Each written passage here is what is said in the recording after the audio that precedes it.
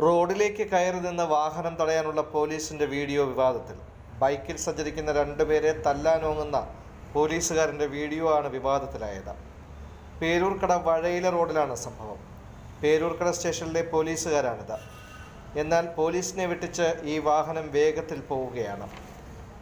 എന്നാൽ സംഭവത്തിൽ വിശദീകരണവുമായി പേരൂർക്കട പോലീസ് രംഗത്തെത്തിയിട്ടുണ്ട്.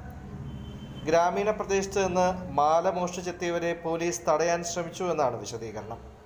എന്നാൽ ദൃശ്യത്തിൽ മാല മോഷ്ടാവിനെ പിന്തുടർന്ന് പിടികൂടാനുള്ള ഒരു ശ്രമവും കാണുന്നില്ല.